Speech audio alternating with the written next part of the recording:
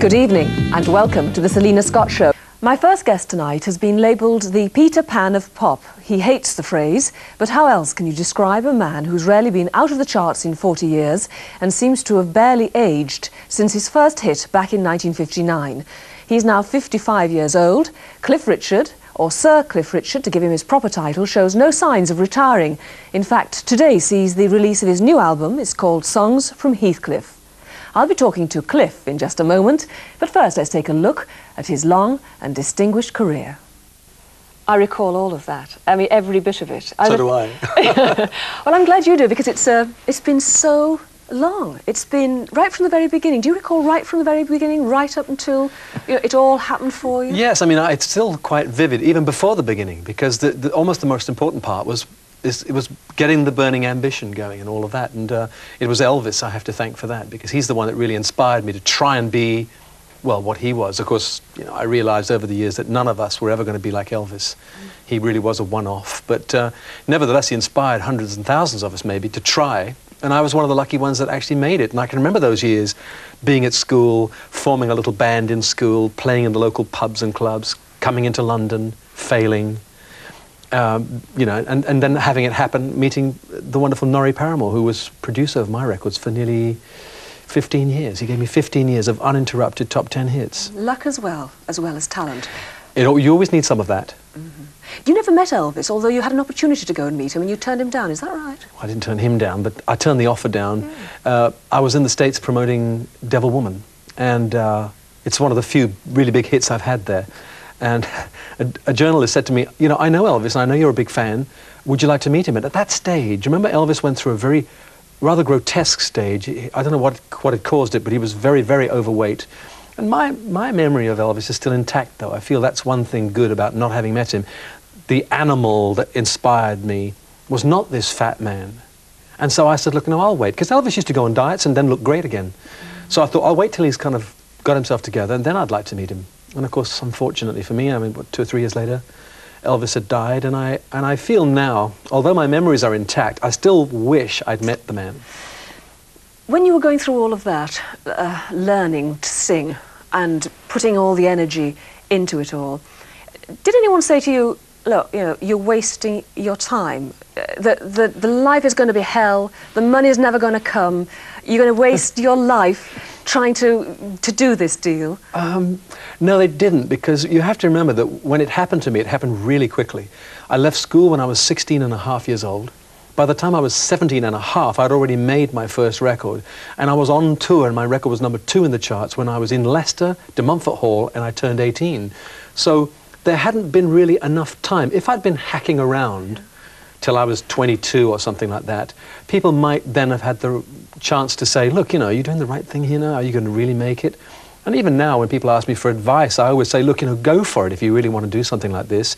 But give yourself a, a time. Say three years, four years. If I haven't made it in four years, I'm going to assume that even though I think I'm terrific, mm. no one else does, and so therefore I'll get on with my life.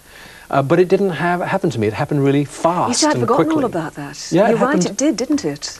Yes, the I excitement mean, must have been must have generated so much more in you to go on and to, and well, to, to do what you did. It was like it, it was a total dream sequence because it seemed to me that just the day before I'd been in school with my friends all trying to look like Elvis and having the girls serve us extra helpings of pudding because they thought we were really dishy guys. Uh, and the next thing I was on stage. I mean, I, there was only a year and a half gap, that's all, from the time I left school and the time I was actually touring for the first time and doing shows like Oh Boy with uh, Jack Good, such an innovator. Um, it was, there was no time at all, really. And it was, it was really a fantastic time. That's where the luck comes in, I suppose. I mean, I suppose I had to have something to capitalize on the luck, but you still need that little stroke that lets you meet the right people, that lets you meet Norrie Paramor, that lets N Norrie Paramor have an empty space in his schedule, also an empty space on his books. He did not have a rock star, and he wanted one, a pop star. Any pop star would do, I've got a feeling. No, and no. I mean, you, no, come on. Well, I mean, in the, in the space of time that you, you know, made it, all these screaming girls, all these girls all over were there to greet you. I mean, it, it, didn't take any fool to sort of notice that you had something else besides talent. Well, maybe, maybe that's what, maybe, well, maybe that's what Norrie had. His big offering probably was to spot something that was, in fact, embedded there. But when I see early videos and, and listen to early records, I often wonder how I really made it. You know, I kept thinking to myself, maybe the competition was really bad over here. No, you were so Because- exotic. I remember you being so exotic. I remember as a girl in school reading about the siege of Lucknow, something like 1856 or something like that. and then you came along, and there you were. You'd been born in Lucknow, Lucknow, India. You had all well, of this background. Yeah, maybe I, well. maybe that all does add to the sort of mystique of it me, all. I must tell you I mean, being born in India and sort of coming out and saying that, I suppose I never thought of it in those terms before. What about money? Uh, I mean, your background it was was fairly poor, Yeah. wasn't it? You lived, you were born in Lucknow, yes, but you stayed there till you were eight years old. Well, Lucknow I left when we were when I was really young. I stayed in India till I was eight years old, Yes. um, and that was not a bad time of my life because my father had a job where everything was given to him. The home we had was pres presented to him by the company. He didn't own it, mind you, which was the problem when we left, of course. By ha having a situation where everything was paid for, the food, the people that worked for my father, the home that we lived in. What did you do, your father? My father was in catering. He, he was a, a district manager of a catering company called Kellner's, and he used to go to all the railway stations where the, where the railway stations had food served, and it was from his company that delivered the food. And so, so we didn't pay for food either. The trouble was that when we decided to leave in 1948, we also had no money because my father had nothing to sell. So once he'd sold a few goods and chattels that he owned, um, we arrived in England. My fa- we then had there were two sisters and myself. My fourth, my third sister was born here, um, and a, and a wife and my father. There were five of us, and we had five pounds sterling when we arrived. So that's when we really began to know what poverty was like. And if it hadn't been for my grandmother, and then later an aunt, uh, I'm not sure what we'd have done. And they call you Cliff, don't they, your family? They Yes. don't call you Harry, which No, is no. your real name. It seems no, weird, doesn't it? Well, it is weird, but uh, again, I don't know what it was. I came home the day I chose the name and just said to my family, look, I've changed my name. And they said, what is it? And I said, it's Cliff Richard. They went, all right, Cliff. And the only one that had difficulty was my youngest sister, Joan. Jackie and Donna were really good with it. Joan, because when I was 18, she was only eight. Uh, and every now and then she'd go, Harry, oops, as though it was some great, terrible sort of sin to call me Harry. And from the word go, they called me Cliff, and uh, they've never referred to me as anything else. And when we've talked about it now, they say, the strange thing is, they said, you don't look like a Harry to us. Isn't that funny? I've, I've become Cliff, and in fact, I am now. I changed my name by deed poll. Um, I am Cliff Richard now. I see. So, the money thing again. Did you have to make money for your family? Even though you were, how old were you? 18 years 18, old? Yes. Were you going out and making money for your family, to look after your family? So it was a motivating force in Yes, your it career was. at the very beginning? Oh, there's no doubt about it. It's no good us pretending that money doesn't change us. I mean, I went thr- through a lot of interviews saying that money hasn't changed me. But then, again, as you get older, you realize that money is something that we all, it's a necessity of life now. And uh, I realized that, that we were poor. Although, funnily enough, my sisters and I have talked about this, and being poor does not equal unhappiness. I mean, okay, I think it's better to be rich than poor, but we were really poor, and yet my sisters and I talk regularly, and we say, Can you remember being unhappy as a child? And the answer is no, we weren't unhappy as children. So somehow or another, that generation of parents was able to deal with being poor and bringing up four children, as in our case, and making us feel as though we were the most important things in everybody's lives. The other problem, of course, is that if you were brought up in a poor background and money counts for everything, it becomes harder and harder to spend it as you make more and more of it later on because you find that you don't need the things that other people have got. Or maybe you think, I, can I afford it? Can I do Yeah. this? Will I ever be will I ever be poor again? Won't I need my money at a later to save stage? it. Well, it's funny you should say that because it must be the fact that we went through this period uh, of really terrible uh, poverty that uh, nowadays, for instance, I really. I, I mean, I know I can afford so much now, and I do have so much, and I can spend money quite easily. But, it, but every time I do, I mean, I can tell you now, I mean, I went into a very famous designer name shop to buy suits. They didn't have the suits I wanted, so I thought, I, I felt slightly embarrassed. So I thought, well, I'll, I'll just buy this shirt. There was a beautiful coloured shirt. They come out with a coloured shirt every now and then. Mm. And I said, I'll take one of the shirts anyway, thank you very much. And they got me out seven shirts. I chose the colour and pattern. And then while they put the six away, I turned it over and it had 950 pounds written on the back. And I thought, do you know, I couldn't buy it. I said, look, I'm really sorry, but my mum would kill me if I spent 950 pounds on a shirt. Now I can afford that. And in fact, the man was a bit rude. He said, well, uh, he said, we don't give them away, sir. And I said, well, I don't buy them at this price. and then that day, I saw a Mercedes, a second-hand Mercedes with 11,000 miles on the clock, and it had 54,000 pounds on it. And I thought, 54 of those shirts would equal this Mercedes, and I'd rather have the Mercedes. Thank you very much. so how many cars have you got? I've got three. Right. So what's the other two? The, I have a Rolls, uh, Yeah. tell a lie, it's a Bentley. The one Forgive you just Bentley, bought. Mm. The one I just bought, the Bentley. Uh, and then I have uh, a Mercedes 500 SL, which I bought for myself on my 50th birthday. I thought no one's going to buy me one of those. Mm-hmm. Um, and a Range Rover. How you get time to drive them is the next thing, isn't it? With all this work you're doing and all this travelling you're doing. That is the problem. Being at home is really hard to find the time to be at home. Uh, this this autumn is full of all my. Uh, it's all promotional work for the new new album and singles, and uh, being at home is really hard. It's so so driving is difficult. I get driven around most of the time, but when I do, I do like to drive myself. As a rule, I if I was coming socially into town, I wouldn't uh, get a car hire.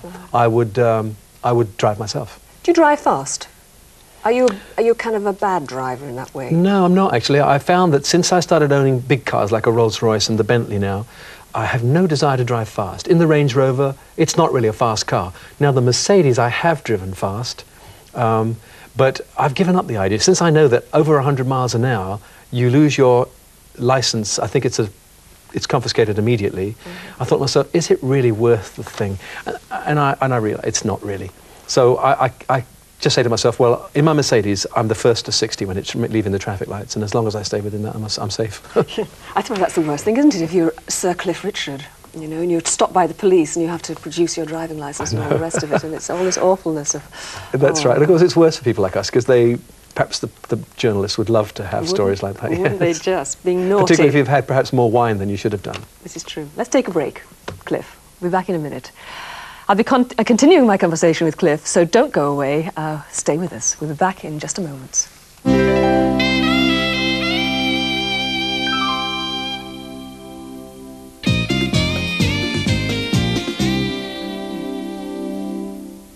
Welcome back. If you've just joined us, I'm speaking to Sir Cliff Richard. We've been waiting for you to return because we want to listen to his latest single. It's from his new album, Songs of Heathcliff, Songs from Heathcliff, and it's called Misunderstood Man.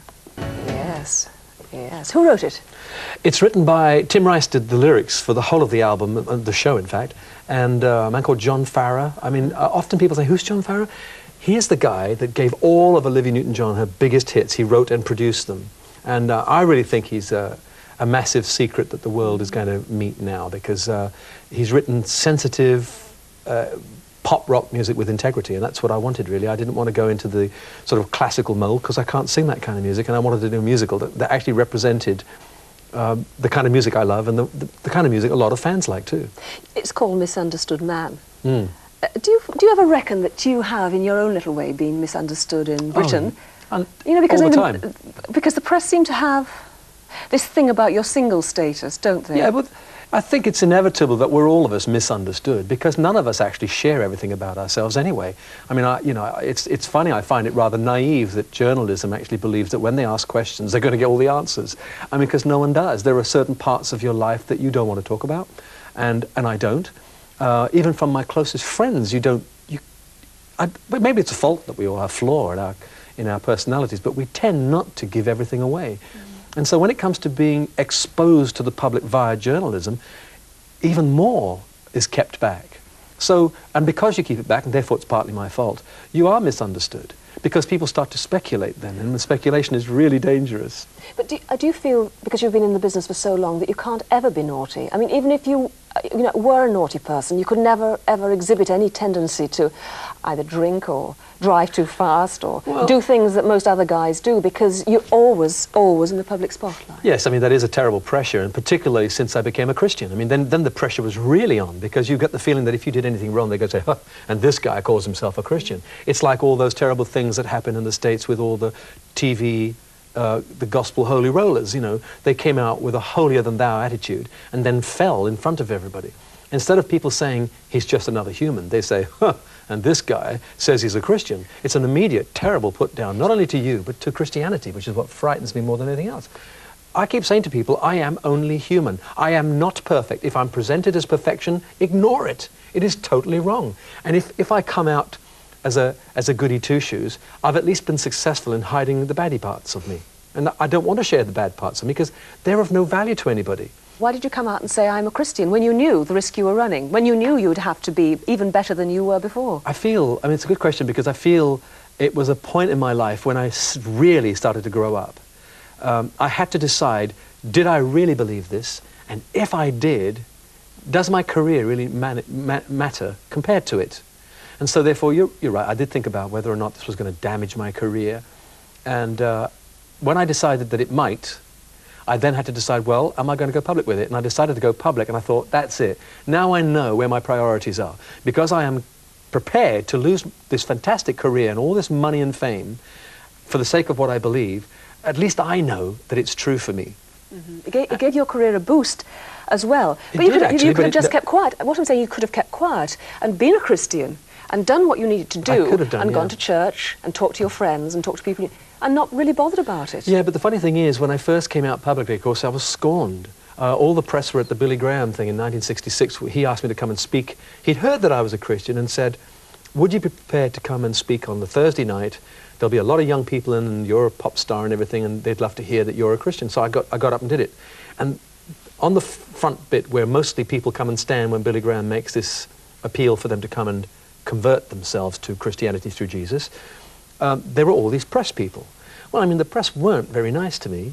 I mean, it was all derogatory and very cynical, and huh, here's another, you know, uh, religious nutcase, and all of this went on. And, but it didn't damage my career. And in the end, now I look back on it, in fact, it was fantastic for my career, because it laid me wide open to the public. And I think the public quite like vulnerable people, because they know that's what we are. And in the end, all of us that are alive on the planet, we're all so vulnerable to each other, to what people think of us, to what we do, you know, everything is there.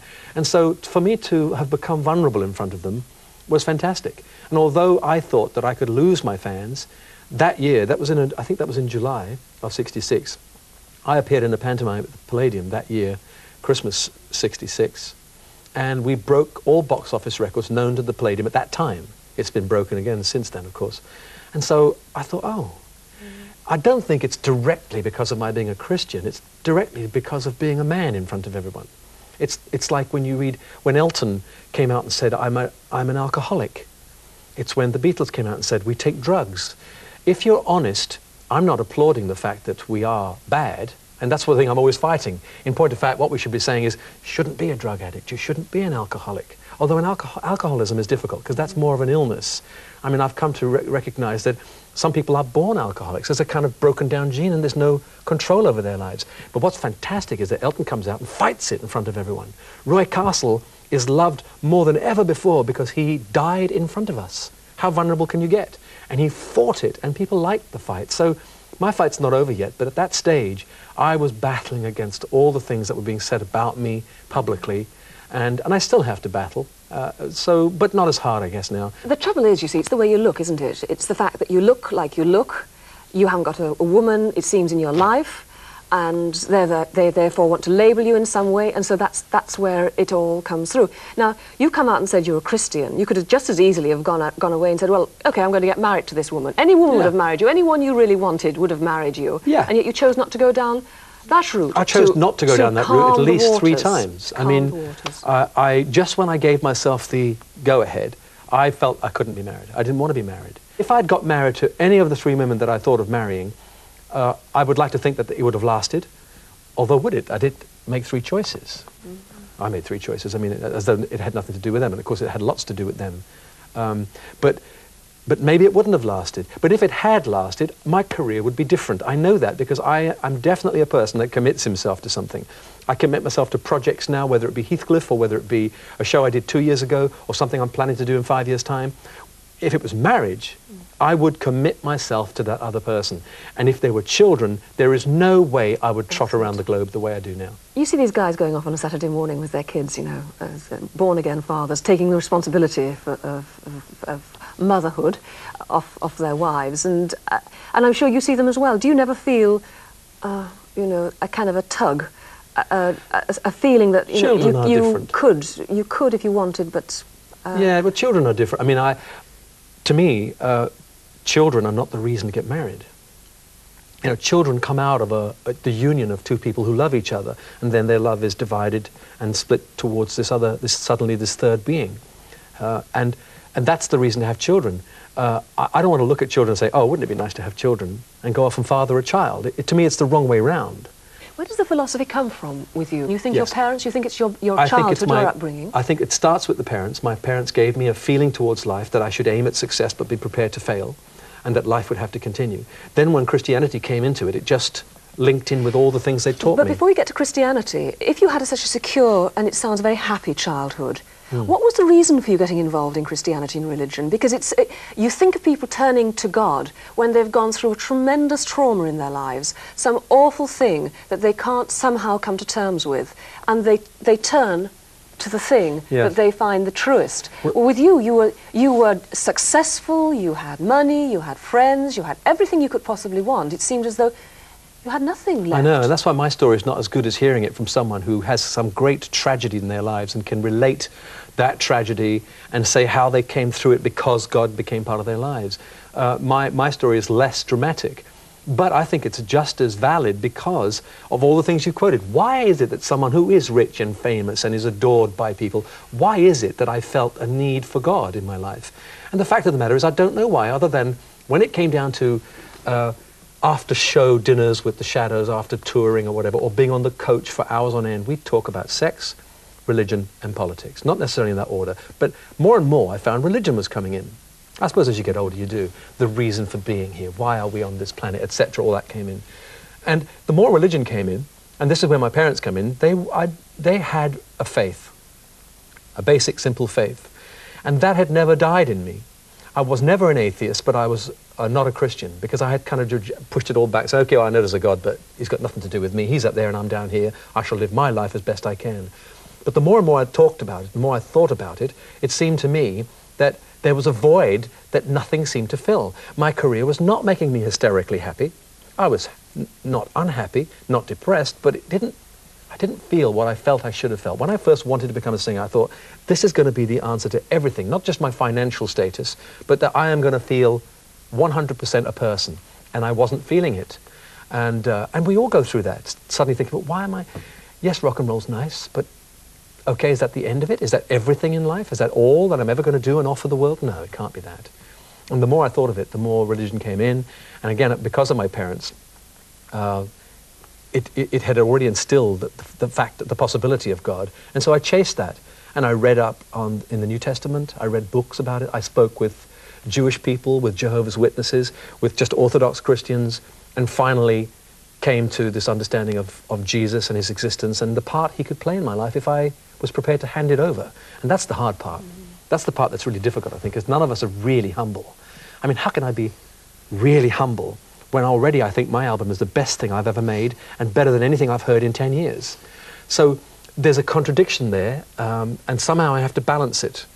The passion of still there, enjoying the music, enjoying what the music brings. Yeah, well, it's, it's- still there. it is. and it's going to be there for many, presumably many years to come. Well, I hope so. I mean, people keep asking me about retirement and things, and I'm getting to that age, 55, when I think, well, I could genuinely retire now, having done a, a lot and offered a lot to my art form, um, knowing full well, of course, that no one ever does it perfectly, and not everybody likes you anyway. But uh, I've done my piece.